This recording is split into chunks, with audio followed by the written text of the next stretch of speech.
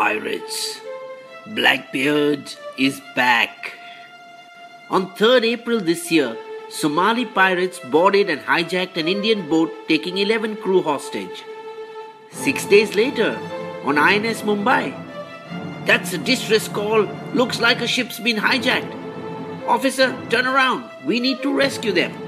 In a rare joint operation with the Chinese Navy, they rescued 19 crew. From 2006 to 12, more than 660 vessels were hijacked in the waters along Somalia's coast and the Gulf of Aden. Since 2013, there had been no incidents, but it seems they may be back.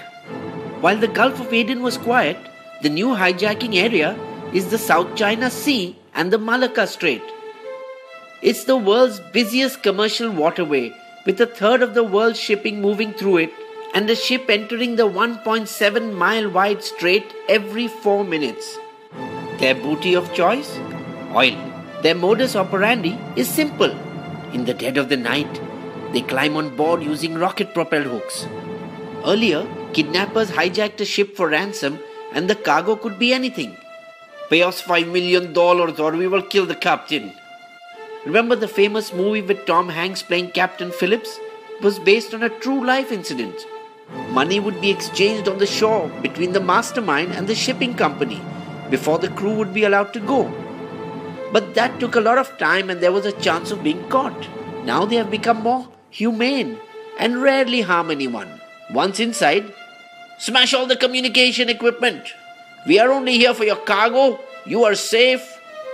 Within minutes, another ship pulls up alongside, steered by more pirates, and the oil is transferred. The pirate ship then vanishes into the night and can take refuge in any one of more than 17,000 islands of Indonesia, making them virtually impossible to find. It's often difficult to decide which nation should be investigating a robbery in international waters. The piracy took place in waters near your shore. You handle it?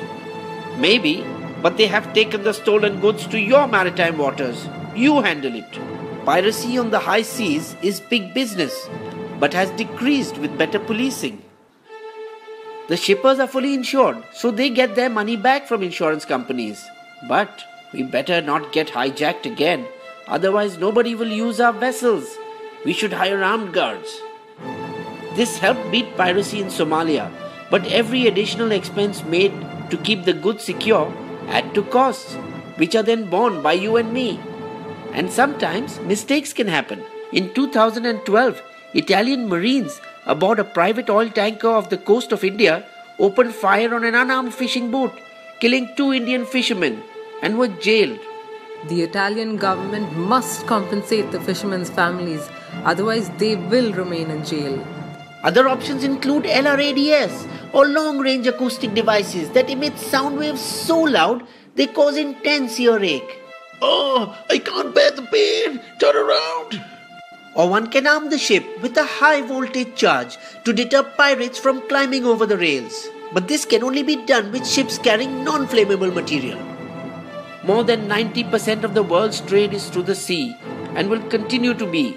The game of cops and robbers is on. There are still pirates on the high sea that hijack ships and then flee. But technology will ensure that it's not as easy as before to take away anything for free. If you like this video, share it with your friends and become Bisbo's friend by subscribing for free to Bisbo's YouTube channel. Come, let's discover the world together.